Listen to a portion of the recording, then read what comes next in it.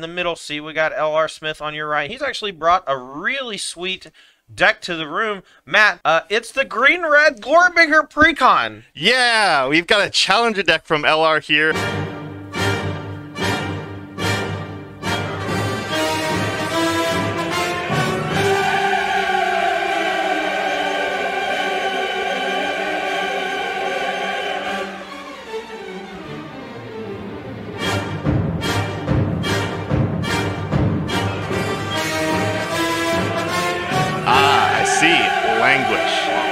And that kills him with the Archfiend of the Dross, straightening for four, and Jesse Clevenger takes it down the hard way.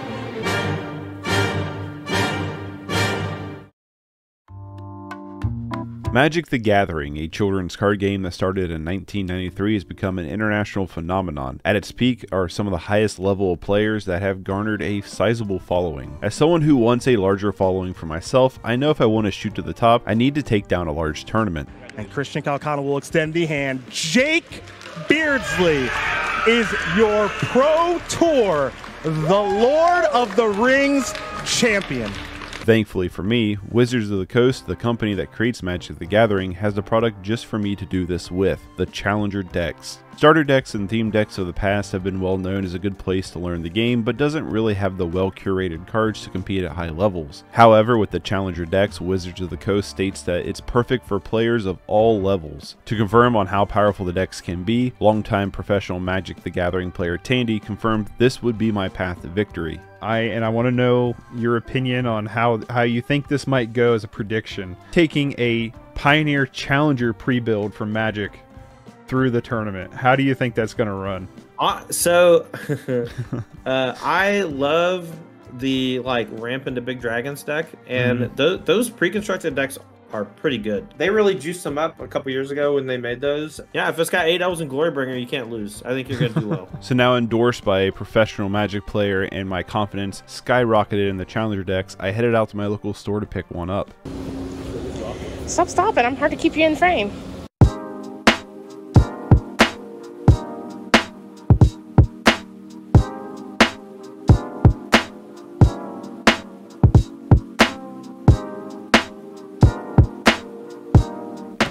Let's rip this thing open. Pioneer Challenger deck rule. Try to get that money shot. Not very good money shot. You've got a crush. Apparently these things are fortune cookies.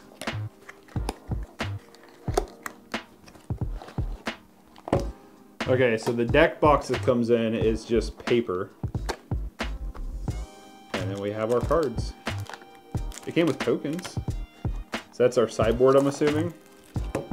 I don't know what's good in Pioneer. So I'm assuming this is probably going to be interesting as a deck. But we got this Glorybringer paper. This is $50, by the way. Let's just go over the, the deck itself. So on the back of the box, subtlety is not your strong suit. Drop a mana dork early on and deploy massive threats ahead of schedule. The dragons and beasts will take it from there. So we're like a ramp dragon deck that somehow makes human tokens. And these are supposedly tournament ready. Well, we have two questing beasts right out of the gate. Hold on. Uh, uh, uh. Okay, there we go. Two questing beasts. Two Chandra Torch of Defiance. Which is kind of funny because I actually have like four of these already.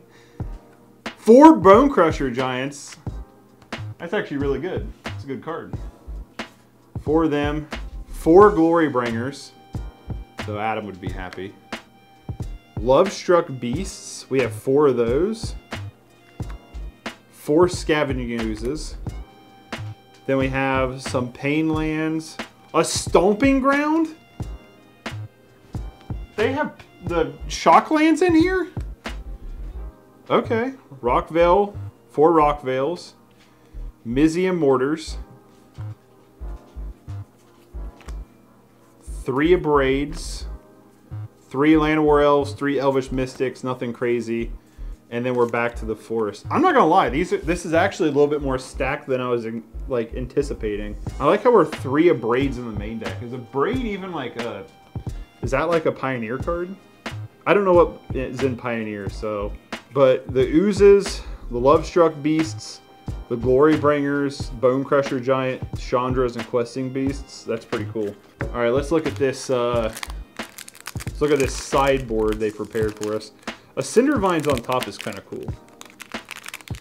Not gonna lie, Cinder Vines is kind of a good card. Where are we at? Over here.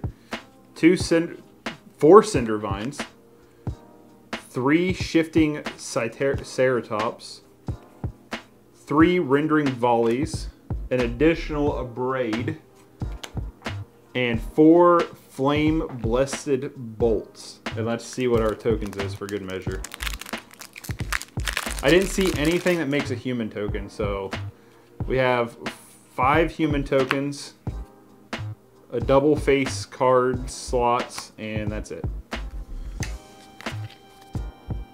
All right. That's it.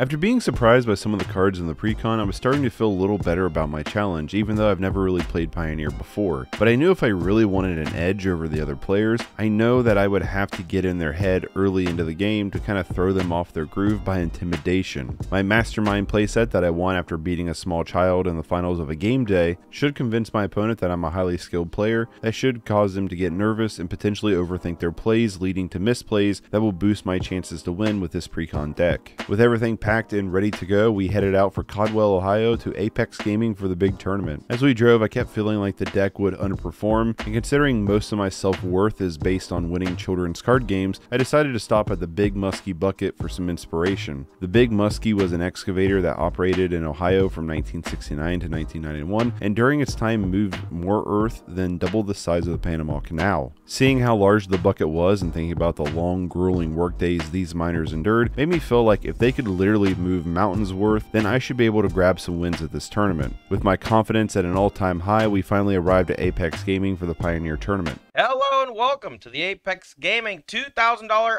Pioneer Open. I'm Tandy, joined by Bomat. Say hi, Bomat. Hi, Bomat.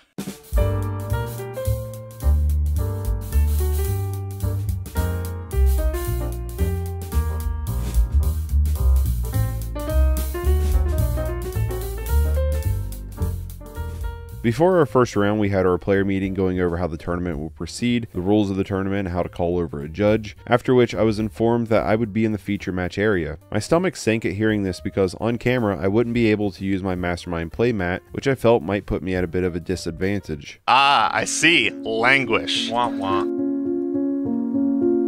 After losing 0-2 on camera, I was overcame with a great sense of failure and shame that I had brought onto my family. And with my confidence rocked, I headed into round 2 very leery about my deck. Round 2 ended in yet another defeat. At this point, putting me close to the bottom of the leaderboards and almost ensuring that I would not make it to the top 8. Feeling lied to by Tandy after his glowing endorsement, Yeah, if it's got eight L's in Glorybringer, you can't lose. Can't lose. Can't lose. Can't lose. Can't lose. Yeah, if it's got eight L's in Glorybringer, you can't lose.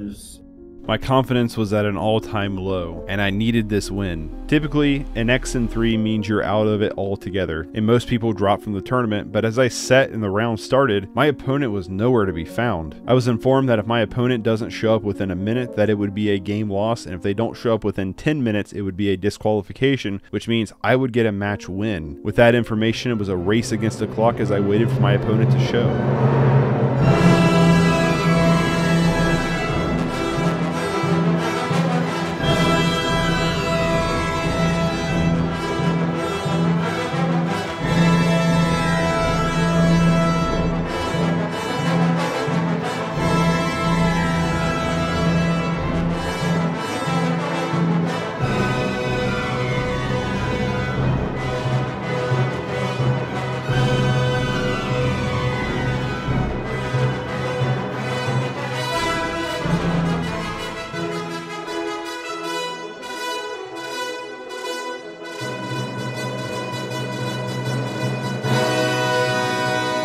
And after the grueling 10 minute wait, my opponent never showed, leading to a match victory for me. The Challenger deck is finally on the board.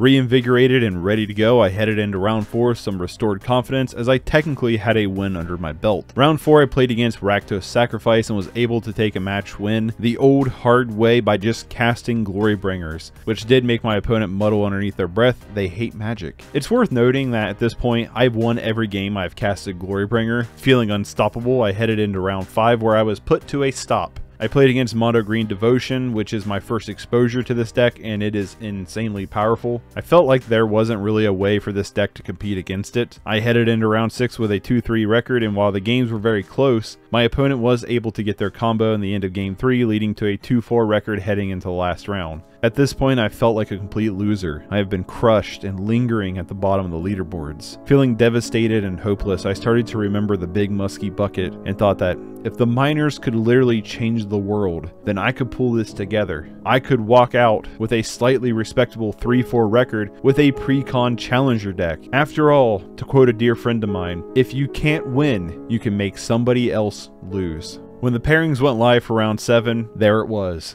I got hit with the bye. We have done it. A 3-4 record to finish the day off. It was a long and grueling 7-round tournament into uncharted waters for me and the Challenger deck, but to go home with a 3-4 finish, I felt accomplished. Sure, the Challenger deck isn't hyper competitive, and I probably wouldn't do this again, but I do think it's a good starting point for someone wanting to get into the game. And with the price point, you actually get something that is slightly playable. I do want to thank Apex Gaming and Tandy for having me out. I had a ton of fun and met a lot of really cool people, and at the end of the day, this is a game. It's about having fun, and I'll take that 3 4 record with me any day. And who knows? Maybe the next time I walk through those doors, I'll take down the whole thing.